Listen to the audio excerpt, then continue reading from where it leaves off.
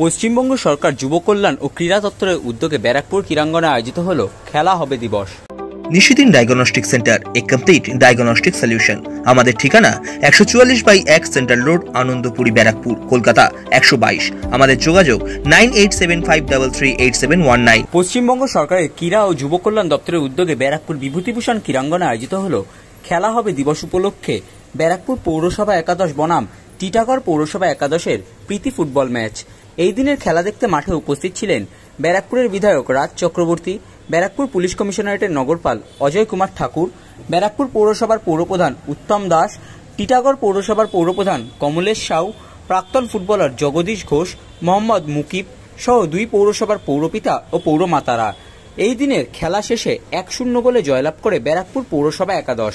সংবাদ মাধ্যমের মুখোমুখি হয়ে ব্যারাকপুরের বিধায়ক রাজ চক্রবর্তী, ব্যারাকপুর পৌরসভার পৌরপ্রধান উত্তম দাস এবং টিটাগড় পৌরসভার পৌরপ্রধান কমলেশ সাউ জানান। আজকে খেলা দিবস উপলক্ষে যে খেলা হলো, Titagarh municipality versus Barrackpore municipality তো তাতে যে রেজাল্টটা হয়েছে, টিটাগড় মিউনিসিপ্যালিটি এক গোল খেয়েছে, ব্যারাকপুর মিউনিসিপ্যালিটি এক গোল দিয়েছে। তো কিন্তু খুব সুন্দর একটা পরিবেশ ছিল। সবাই রয়েছে এখানে, আমাদের সমস্ত কাউন্সিলররা লোকজন প্রচুর, দর্শকও রয়েছে সিপি স্যারও এসেছিলেন। তো ভীষণ ভালো, আসলে আমাদের একটা ইন্টেনশন যে খেলাধুলো করুক সবাই এবং স্বাস্থ্য, শরীর, মন সব ভালো থাকবে তাতে আর কি। এটা আমার, আমাদের মুখ্যমন্ত্রীর বার্তা, তাই আমরা খেলা দিবস হিসেবে একটা ডেকে বেছে নিয়েছি এবং আমরা প্রত্যেকটা সারা বাংলা জুড়ে আজকে খেলা দিবস পালন হচ্ছে এবং খেলার মধ্যে দিয়ে ফুটবল খেলা হচ্ছে এবং এটা একটা ভালো উদ্যোগ আমার মনে হয়। এটা ফ্রেন্ডলি ম্যাচ এটা আমার পৌরসভা না, বাকি বিধানসভার মধ্যে আমার পৌরসভা বা টিটাগড় পৌরসভা, সবাই এক, তবে ফ্রেন্ডলি ম্যাচ একজন জিতবে, একজন হারবে, এটা নিয়ে কোনো ইয়ে নেই।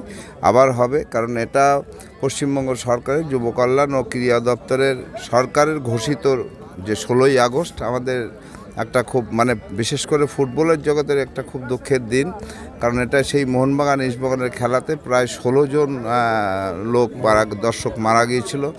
তারপর থেকেই আমাদের বাংলার মুখ্যমন্ত্রী মাননীয় মমতা বন্দ্যোপাধ্যায় ঘোষণা করেছেন যে প্রত্যেক বছরই ষোলোই আগস্ট সারা পশ্চিমবঙ্গে সর্বত্র পৌরসভা, পঞ্চায়েত সব জায়গায় খেলা দিবস হিসাবে খেলা, ফুটবল খেলাটা হবে। এইটাকে ষোলোই আগস্ট স্মরণ করার দিন।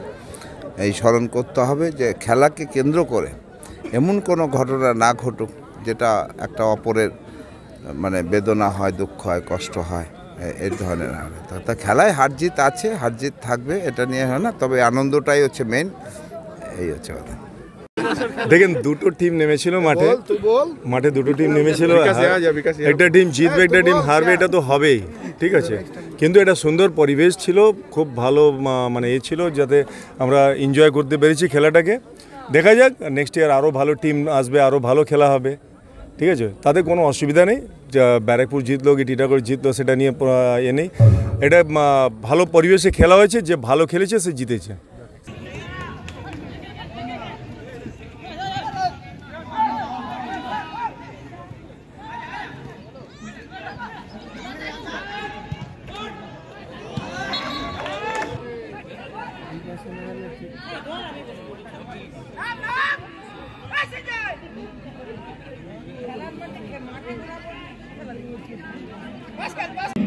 এরই মধ্যে আমাদের আমরা ব্যারাকপুর পৌরসভার পক্ষ থেকে আয়োজকদের পক্ষ থেকে তাকে জানাই আন্তরিক আমরা thank you sir thank you আপনি আমাদের খেলা আজকে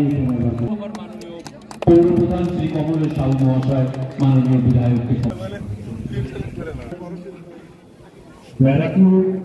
শ্রী আমাদের মাননীয়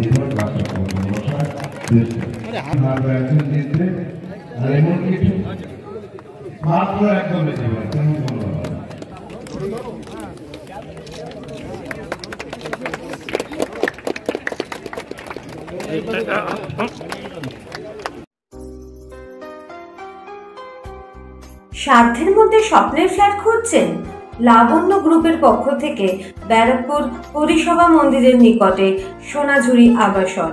থাকছে lift top floor shed, zero percent GST.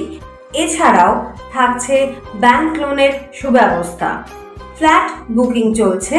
যোগাযোগ seven two seven eight two double zero four five six.